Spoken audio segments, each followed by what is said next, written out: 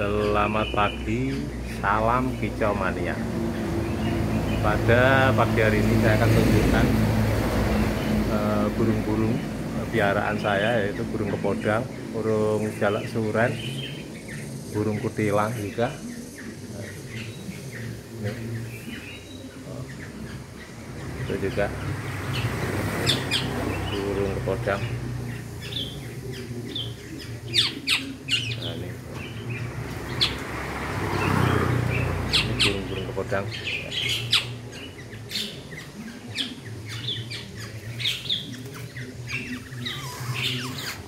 Ini kepodang-kepodang semuanya pian. Semua- Semuanya pian ya.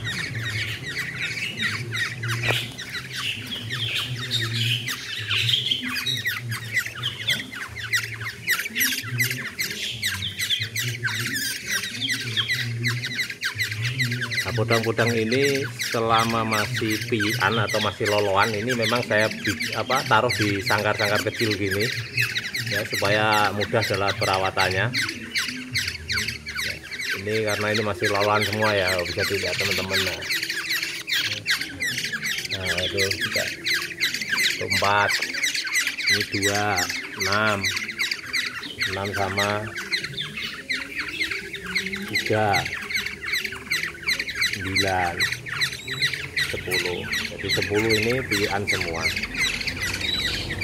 Kenapa kok saya piara burung kepodang sebanyak ini dan sampai terkumpul seperti ini? Padahal kepodang itu kan di daerah Jawa Tengah kan susah ya. Cuma lihat di STNK gambar STNK mungkin ya. Kalau di hutan sudah susah sekali. Karena apa? Yang pertama saya itu memang hobi. Hobi piara burung. Tapi saya juga bukan sudah hobi saya hobinya itu kalau dari uh, pian untuk kepodang karena kepodang itu kalau tidak jadi pi, dari pian dari loloan seperti ini dia nggak bisa jinak dan nggak mau berbunyi plong. Yang pertama. Yang kedua burung kepodang ini uh, warnanya sangat cantik. Dan uh, burung kepodang ini burung yang nasibnya kurang bagus. Karena apa karena walaupun burung kepodang ini mempunyai, mempunyai warna yang cantik kicauan yang los keras seperti di layaknya kita piara burung kepodang itu layak kita seperti sedang berada di hutan. Karena kicauannya walaupun cuma itu aja bunyinya tapi keras. Dan sialnya burung ini di daerah sini itu ada mitos. Katanya kalau orang lagi hamil tujuh bulan ya. Itu dikasih makan ikan burung kepodang. Jadi burung-burung ini disembelih dikasih makan sama orang yang hamil tujuh bulan itu mitosnya. Saat melahirnya melahirkan kalau anaknya laki-laki katanya ganteng anaknya perempuan katanya bisa cantik kuning badannya apa itu enggak mitos yang sangat kejam ya maka dari itu setiap uh, saya ketemu burung ini di pasar hewan itu saya pesan saya beli. Walaupun itu kemarin sempat ada yang pesanan orang yang lagi hamil. Katanya itu uh, mau dibeli orang lagi hamil dan sudah pesanan dan jadi harga. Walaupun orangnya belum sempat dihubungi waktu dapat burung podang ini akhirnya apa? Akhirnya burung ini saya beli dan saya piara dan orangnya memang kekeh untuk tidak boleh tapi sudah saya kasih pengertian bahwa kasihan kalau burung ini sampai uh, mereka mendapatkan keuntungan mendapatkan rezeki tapi akhirnya burung ini harus dibantai ya. akhirnya uh, si penjual burung itu memberikan kepada saya untuk saya beli dan saya piara jadi mitos-mitos semacam itu mungkin yang ada yang melihat video ini janganlah kalau mitos-mitos seperti itu kok sampai diteruskan ya. Kasihan burung-burung ini sudah hampir punah. Ya. saya memelihara pun itu rata-rata kalau burung kepodang itu memang dari loloan. Kalau ada tangkapan liar saya kadang membeli itu untuk saya lepaskan di alam liar. Bener ini saya kadang-kadang uh, sedikit memaksa untuk membeli burung-burung kepodang ini karena apa? Setiap ada di pasar itu uh, penjualnya selalu menghubungi saya karena memang sudah saya pesen kalau ada burung kepodang yang mau disembelih janganlah nanti ditawarin ke saya. Akhirnya apa? Sampai terkumpul sebanyak ini. Itu. Yang pertama memang saya tidak saya akui memang saya hobi ya. Jadi teman-teman jangan punya pemikiran Allah gini tapi terus terang ini nanti kalau mudah-mudahan saya mempunyai rezeki yang lebih akan saya bikinkan kandang yang besar supaya burung-burung ini bisa berkembang biak nantinya dan anak cucu kita masih bisa melihat burung yang cantik ini. Mungkin para penghobi kepodang gitu ya. Itu mungkin lain ya daripada burung-burung yang lain. Hobi-hobi memang senengnya kalau sama kepodang ya memang seneng beneran. Bukan karena ini tidak ada lomba tidak ada apa. Kita nggak mikir lomba.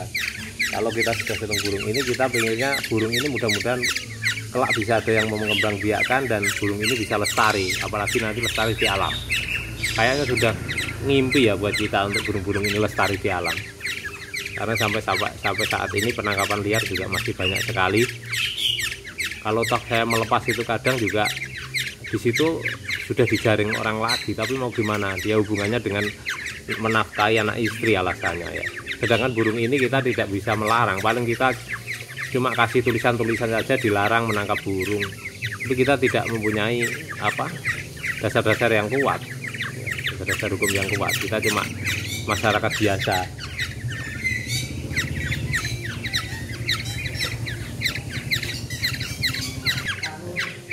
Dan nanti burung-burung ini rencana mau saya bikinkan kandang besar. Kalau kita sudah punya rezeki yang lebih terus kita eh, mau kembang biakkan ya syukur-syukur bisa berkembang biak. Tapi kalau enggak paling enggak ya saya masih ada. Kalau kalau walaupun ini tidak saya beli di pasar ini bisa-bisa jatuhnya ke orang-orang yang sedang hamil nanti disembelih juga karena burung ini sudah dipiara seperti ini. Baru dilepas pun kalau kita dilepas langsung ke alam pun dia nggak bisa mencari makan nantinya. Jadi kita harus uh, kemarin itu saya sempat lepas walaupun itu tidak sengaja. Itu ada yang saya taruh di kandang ini ya kandang besar ini selama beberapa waktu. Ya sudah mungkin hampir setengah tahun saya di sini dan dia memang sudah sering saya lemparin jangkrik ke bawah ke situ. Nah, itu akhirnya burung itu saya kasih makan lewat sini saya buka dan dia lepas dari sini ke atas. Ini dan lepas ke alam liar dan sampai sekarang mungkin nanti lain waktu kalau kelihatan lagi akan saya videokan itu sangat pintar. Selama hampir dua bulan ini dua bulanan lebih mungkin sampai sekarang itu burung itu masih uh, berkicau di alam liar dan sampai sekarang masih saya sering lihat. Dan cuma satu sayangnya ya nanti akan saya carikan yang betina karena yang lepas itu kebetulan jantan ya. Nah, itu ya, ini burung-burung ini aja hmm, ini ada jalak suren yang terkenal galak.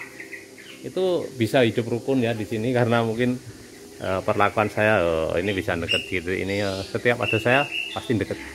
Ini ada jalak Bali. Ini termasuk burung ini mudah dikembang biakan tapi ini malah sudah di apa dilindungi ya. Walaupun ini mudah dikembang biakan loh. Tapi untuk kepodang sendiri saat ini belum. Bercada hijau ini mulai bulan Agustus sudah mulai uh, termasuk burung yang dilindungi. Nah, itu, ya. itu suren. Oh, ini kepodang nah, jinak-jinak semua sini ya. Karena memang dari kecil saya oh. Yang bagus kemarin yang saya video yang super bagus yang jinak sekali itu lepas. Di alam sana nanti di alam liar nanti saya videokan kapan-kapan kalau kelihatan. Kemarin saya sempat lihat cuma enggak sempat saya videokan. Oh itu cocok hijau betina. Nah,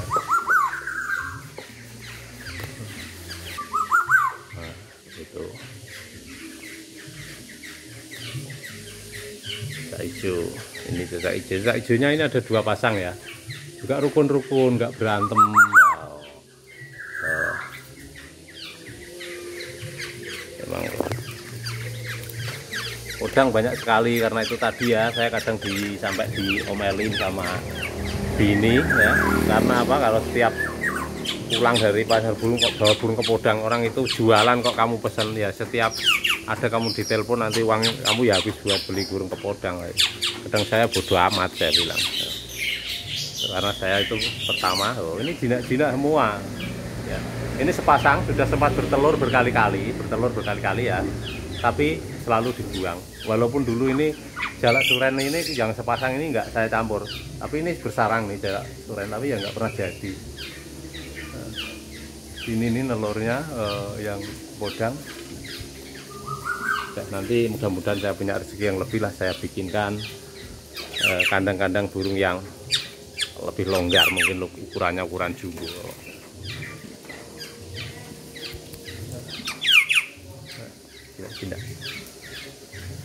Terima kasih. Salam kicau mania semoga semua dalam keadaan sehat walafiat